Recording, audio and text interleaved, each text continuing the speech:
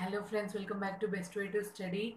Today in this video we are going to discuss all the details regarding AP ECET 2019 counseling dates and a few more details about the document required for counseling as well as counseling process for AP ECET. So let's begin our video.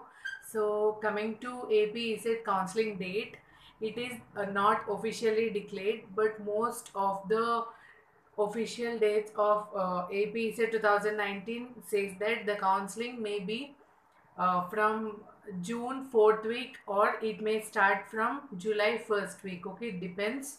And uh, coming to coming to the spot ad- ad- admission, like the spot admission for AP ECET colleges will be after July. That is, it starts from August 2019 and uh, coming to AP ECET, the qualifying marks is that you need to get at least 50 marks out of 200 if you are unreserved category and for SC and ST there is no minimum qualification mark and qualifying mark for uh, AP ECET 2019 and more other details are now let's see what are the processes of fee payments for AP ECET 2019 so coming to the payment fee of AP ECET 2019 for counseling, you like uh, for OC and BC, the fee for counseling is 1200 and coming to SC and ST the fee is just rupees 600 so after paying the uh, paying this counseling fee uh, through online mode you can pay this uh, through credit or debit uh, as you wish. So after after paying the fee you will be eligible for counseling you will be applicable for counseling. So how to pay the online fee for uh, counseling process is that first you have to click on uh, you have to visit the official site of ap ecet and there you have to click on processing fee payment online link. So if you click on the link uh, it will be asking your details. So enter all the valid details after valid uh, after entering all the details. So you can uh, pay the fee and uh, then you will be eligible and applicable for a counseling process. So counseling process uh, there are few steps for counseling process. First one is that you have to first register yourself for counseling. That is you have to pay your counseling fee for ap ecet 2019 through online mode. Uh, so you can if you have any queries regarding the counseling of uh, ap ecet or if you have any doubts like how i need to pay the counseling fee or something like that then you you can be um, consulting the helpline center okay? Uh, they will answer all your queries so once you once you pay the counseling fee then you are applicable for uh, counseling.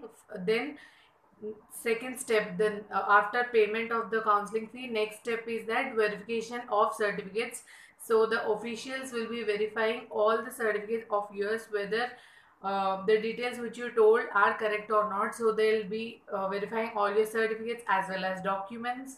And um, so candidates should also verify the details like there will be a form. So you have to fill the form. On that form you will be asked the details such as uh, your category your address your details and all. And also details like date of birth uh, mobile number and all. After filling all the details then the verification process will begin. And you should also uh, have all your original certificates with you during verification and you should also carry your ECET hall ticket uh, and uh, rank card, marks memo, study certificate, caste certificate, income certificate and every certificate and it is also suggested for you to carry your identity card that is Aadhaar card or PAN card with you always.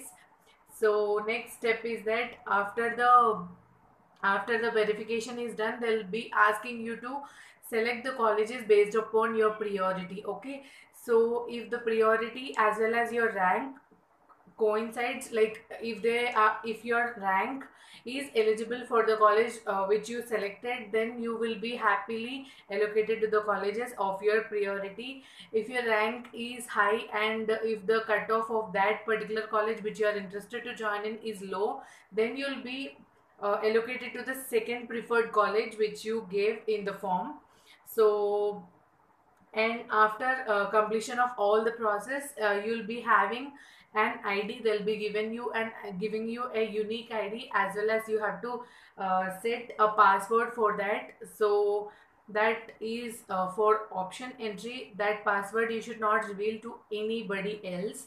And uh, after successfully completion of verification of details and uh, you know um, and filling the form with your prioritized colleges then you will be happily allocating uh, to the colleges. Like you'll be allotted uh, to a college uh, based upon your rank and based upon your marks. So after that if you are still not comfortable with the colleges or if you're still not happy with the colleges which they have allocated to you you can prefer second counseling or even spot admission because most of the college will also have uh, management quota. So you can go through management quota if you are having high rank and if you still wanted to go to that particular college. So you can um, happily go for management quota. And uh, coming to coming to the processing fee for spot counseling for AP ECET 2019 uh, for the students of uh, OC and BC the fees is 1000 rupees. For SC ST for spot counseling it is 500 rupees. So if you are not qualified like if you fail in uh, getting the qualifying marks of ECET also there's no problem not a big deal because uh, even if you fail in ECET even if you are not qualified in AP ECET 2019 you can still be happily allocated the, to the colleges.